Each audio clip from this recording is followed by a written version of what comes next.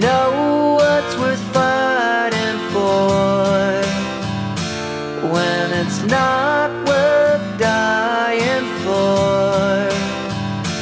Does it take your breath away and you feel yourself suffocating? Does the